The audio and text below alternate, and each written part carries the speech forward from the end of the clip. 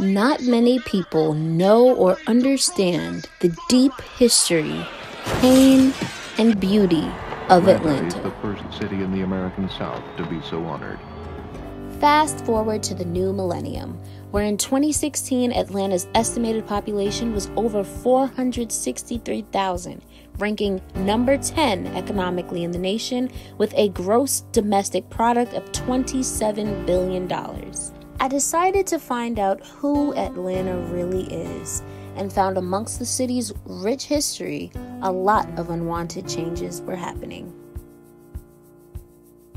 Demographics of the city um, have completely changed. Um, the feel of the city is changing. Mm. And not that it's a bad feel, but it's a different feel. You know what I'm saying? Because Caucasians are moving into areas they ordinarily didn't live in in the city. The impact is that they didn't forget the poor people. People so stuck about getting money and making Atlanta look beautiful, they didn't forget about the homelessness. They forgot about the people that don't have nothing. They've been stepped on and been forgotten. People have been pushed out of their homes over here because because of this. Like what the, what they doing, a lot of these developers coming over here, and you think you think this guy your friend, and you come find out this guy that went down to he went down to the courthouse and he done paid your property taxes, and 30 days later he telling you to get out. It's a positive because the areas that are being beautified and um, made over, renovated, needed it. Mm. It's bad because I don't feel like Atlanta Despite the negative impact gentrification has had within the black community, we are still finding ways to protect our culture. There's obviously been an impact. The city looks different.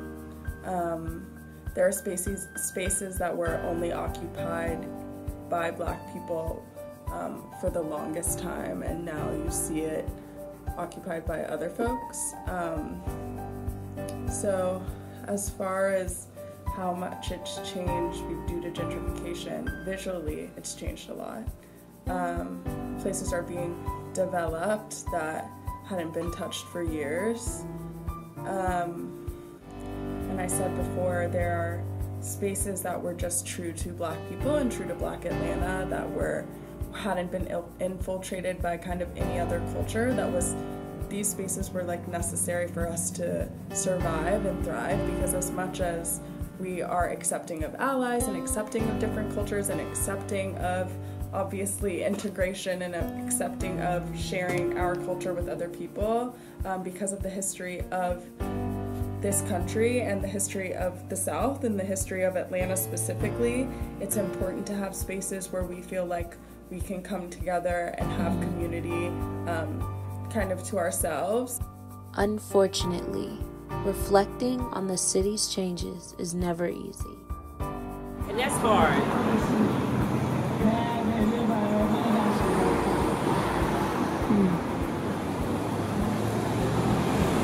Because. Atlanta's home. But so much has changed in my life. Well, I don't even see myself here in 10 years. So these people need y'all help out here. Some of these people don't know how to fight back. That's why they being stepped over. Some people want to fight back, but they don't know how to fight back. That's something you need to pay attention. These people I need us.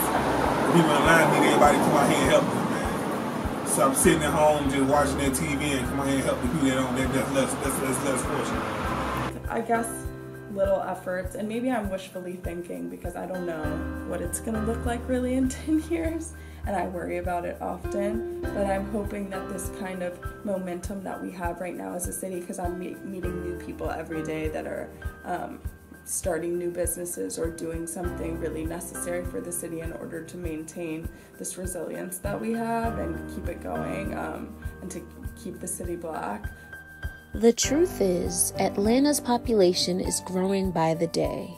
It's up to you and I to protect historic spaces whether that be through supporting black businesses or community service. Protecting Atlanta's roots is more important than you'll ever know.